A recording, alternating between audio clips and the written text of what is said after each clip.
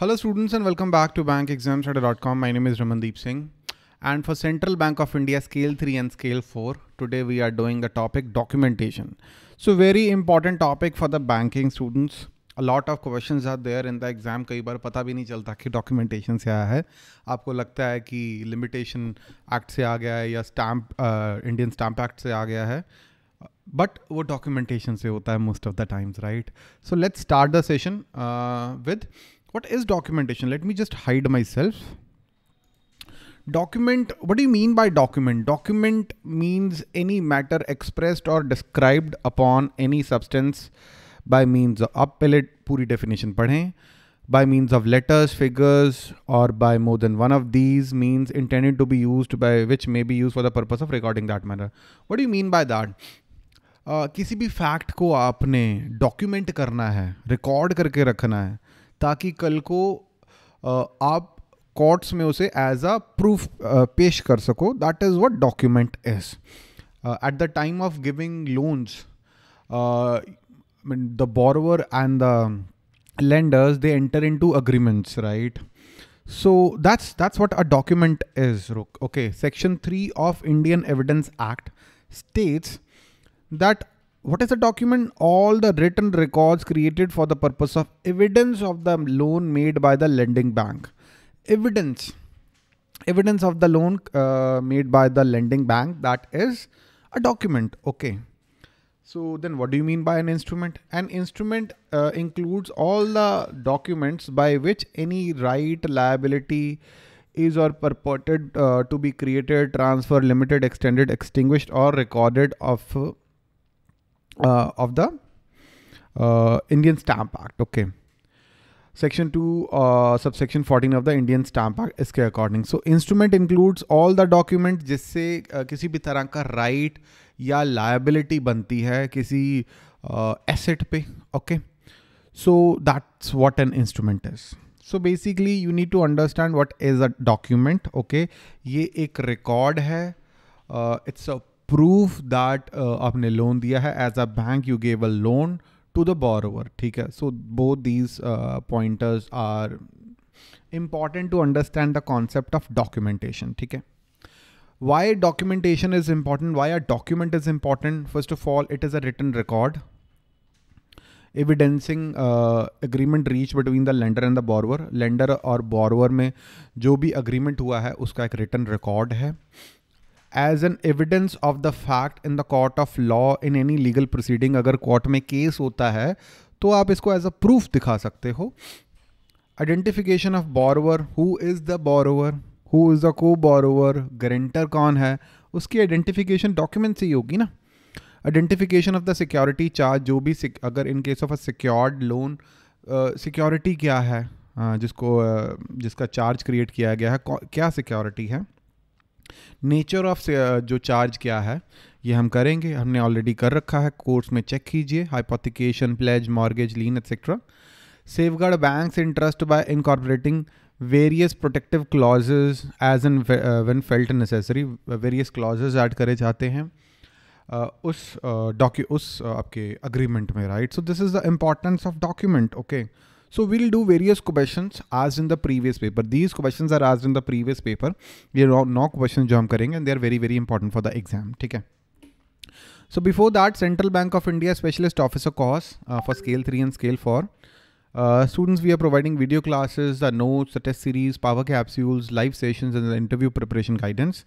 This is our WhatsApp number. Uh, you can ask your doubts on this particular number. Uh, if, in case there is any doubt, drop a WhatsApp message and you can install our mobile apps or you can go to bankexamtoday.com and log in there. All the links are available in the description. So question number one, according to the section 23 of Indian Registration Act, uh, Indian Registration Act, within how many months documents requiring registration must be presented for registration?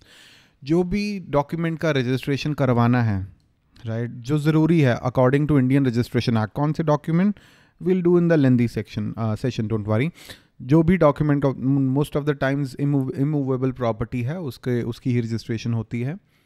So so, uh, कितने month के अंदर अंदर आप आपने जो agreement execute कर लिया है कितने मंथ के अंदर आपको रजिस्ट्रेशन कराना ज़रूरी है according to section 23 please remember the section number that is important many students से आज सर सेक्शन का नंबर याद रखना ज़रूरी है?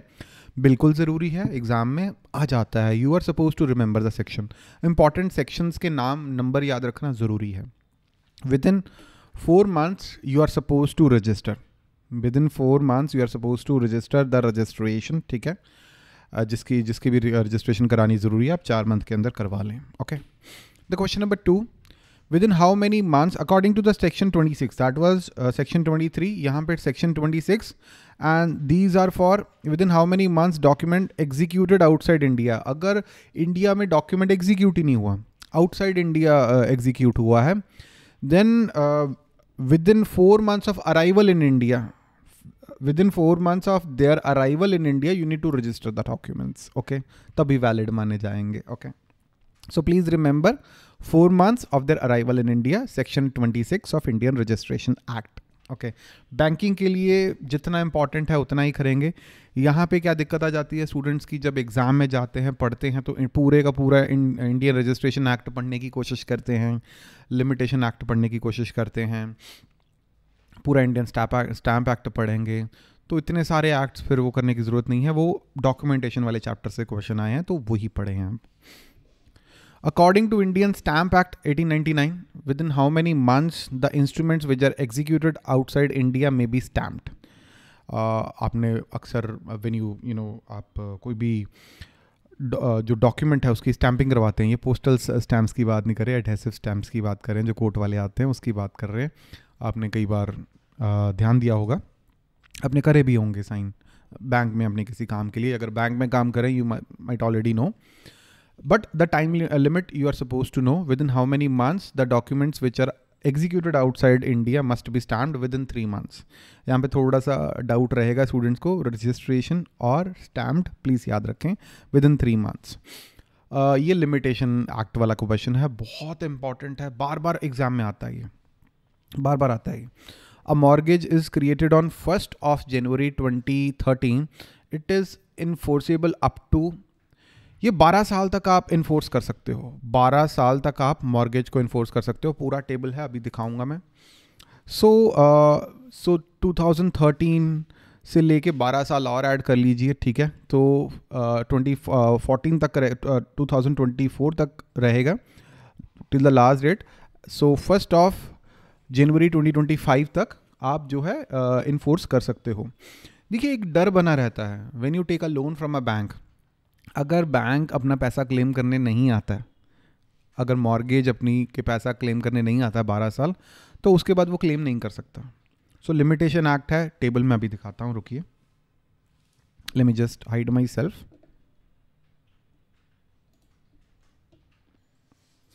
so, let's do the table. Hold on. So students please remember the table so इसको एक अच्छे फॉर्मेट में हम नोट्स में ज़रूर प्रोवाइड करवाएँगे। तो ये मैंने काफ़ी स्टार वगैरह लगाए हुए हैं तो पढ़ रहा था मैं रात को। सो डिमांड प्रोमिजरी नोट उसका लिमिटेशन है three years from the date of execution हमने ये मॉर्गेज वाला किया था ट्वेल्व ईयर्स तक लाइबिलिटी रहती है। तो this is also very important right of foreclosure by mortgagee that is thirty years अगर थर्टी ईयर्स तक आप प्रॉपर्टी नहीं बेच पाते आपने जो टेक ओवर करी है प्रॉपर्टी तो उसके बाद नो आपका राइट ख़त्म है। लेटर ऑफ़ गारंटी का three years from the date of determination of guarantee so term loan का three years from the date of default bill of exchange का three years when the bill falls due execution of decree twelve years recovery of loss caused by fraud three years from the date of detection of fraud appeal to file in high court case high court against the judgment of lower court ninety days from the date of decree appeal to file in other court against the judgment of lower court thirty days from the date of decree money paid by oversight in excess three years from the discovery of discovery of mistake तो ये limitations हैं। अगर uh, ये dates आप cross कर लेते हो तो uh, जो लिमिटेशन लॉ के अकॉर्डिंग आपका क्लेम ख़त्म हो जाता है। आपका क्लेम जो है ख़त्म हो जाता है। आपने बैंक ने uh, किसी पर्सन के अकाउंट में सेविंग बैंक अकाउंट में uh, एक्सेस पैसे डाल दिए हैं। दस बीस लाख रुपए एक्स्ट्रा डाल दिए हैं जो नहीं डालने चाहिए थे।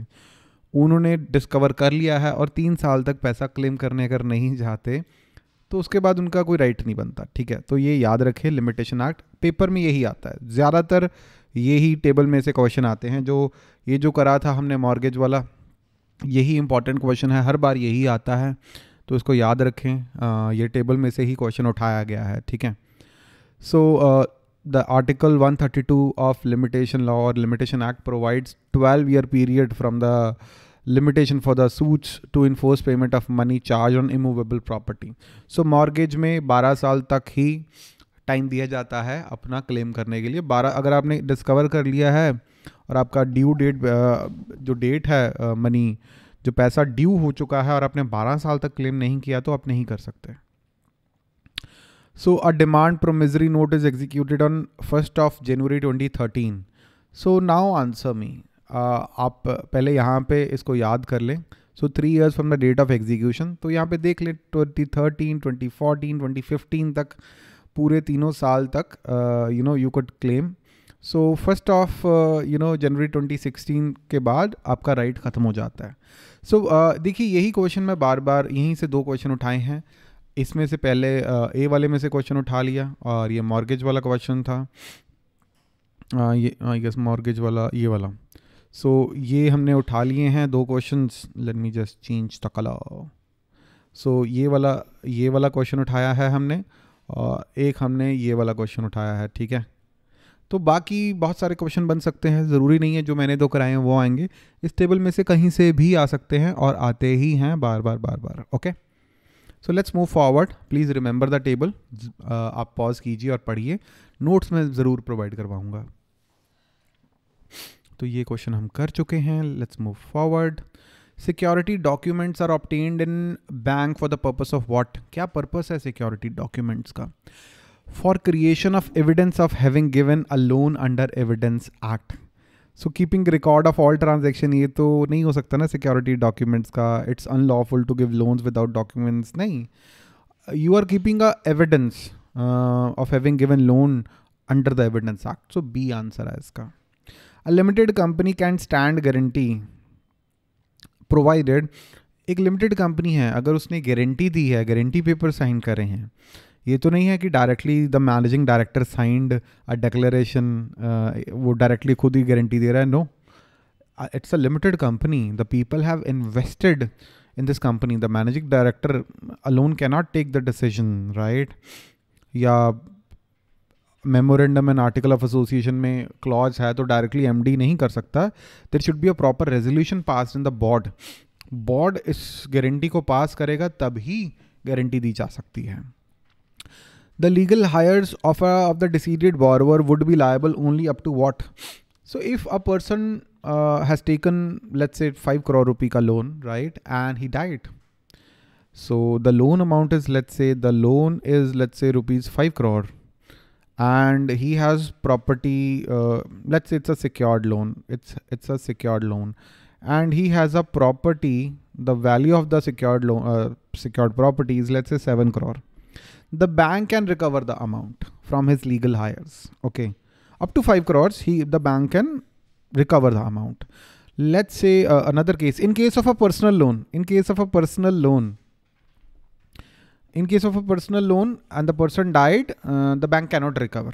ये एक फैक्ट समझ के चलिए पर्सनल लोन के केस में रिकवरी नहीं हो पाती है वो एनपी हो जाएगा let's say the loan amount is five crore and the property का worth is right now two crore So the bank can recover only two crores वो लीगल हायर्स को लाइबल नहीं कर सकता more than the value of the assets asset की value से ज़्यादा आप रिकवर नहीं कर सकते हो in case of a secured loan okay under section 17 of Indian registration act which of the following documents are required to be compulsorily registered कौन से डॉक्यूमेंट आपको रजिस्टर करवाने ही पड़ेंगे? Instrument of gift of immovable property lease of immovable property from year to year or any term exceeding one year non-testamentary uh, instrument creating any right or interest of the value of 100 rupees or upward upwards to और in the immovable property non testamentary वैसे क्या होता है basically it is a legal document that restricts और cancel the right of any person to the property किसी दूसरे person का जो राइट uh, है उसको रिस्ट्रिक्ट या कैंसिल कर देता है। That is non testamentary instrument ठीक है? ये सारे इंस्ट्रूमेंट uh, को रजिस्टर करवाना कंपलसरी है according to section 17 of Indian registration act important question है डॉक्यूमेंट्स में से यही क्वेश्चन बनते हैं ज़्यादा okay so we have covered good amount of question right there will be even more uh, seven eight questions from this particular topic of documentation काफ़ी अभी topics pending है I'll be teaching the whole uh, documentation topic within like 40 minutes I would say 30 40 minutes very important every uh, you know in every exam of credit or even the journalist officers there are at least three four questions because see students एक doubt रहता है कि stamp duty वाला act पढ़ना है stamp act पढ़ना है या रजिस्ट्रेशन एक्ट है एविडेंस एक्ट है। सो so, स्टूडेंट्स उसके बैर एक्ट पढ़ना शुरू कर देते हैं और उसमें से कुछ खास समझ में आता नहीं है। uh, वो होता है डॉक्यूमेंटेशन वाले टॉपिक से। तो हर साल हम पढ़ाते हैं तो इसमें से क्वेश्चन आते हैं और जो क्वेश्चन बताए हैं ये एग्ज़ाम से ही उठाए गए हैं। बुक्स में से भी एक दो क्वेश्चन उठाए हैं और ज़्यादातर एग्ज़ाम से उठाए गए हैं। तो एग्ज़ाम में यही क्वेश्चन आते हैं बार बार जो मैंने टेबल दिखाया था, वो लिमिटेशन लॉ का ऐसे आगे कुछ क्वेश्चन आता नहीं है। बिकॉज़ सी डॉक्यूमेंटेशन अगर आप किसी बुक से भी पढ़ोगे तो काफ़ी बुकिश है एम सी क्यू क्वेश्चन ज़्यादा बनते नहीं हैं।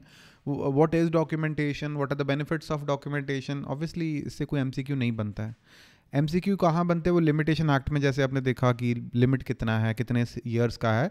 उसमें से आपका एम सी क्यू बन सकता है। उसमें से आपका एम सी क्यू बन सकता है, लेकिन आप काफ़ी सारे आप देखिए, जैसे वो कंपनीज़ वाला था टॉपिक ये जो क्वेश्चन हम कर रहे थे ये वाला नहीं, ये वाला।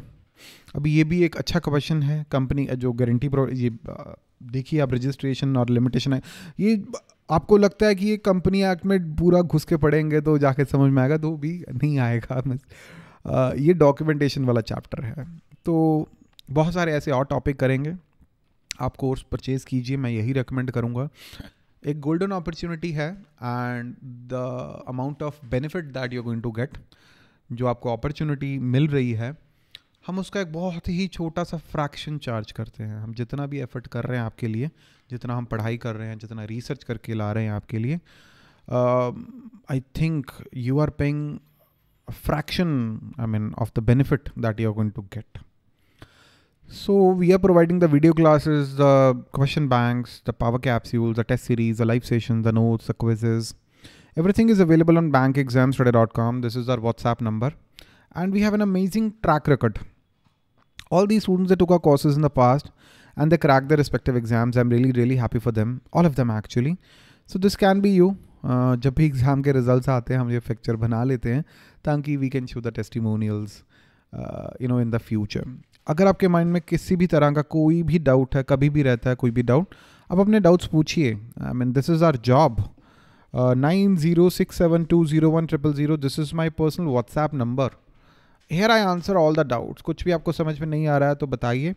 डॉक्यूमेंटेशन का प्रॉपर फुल लेंथ जो सेशन है, मैं कोर्स में कल करूँगा, ठीक है?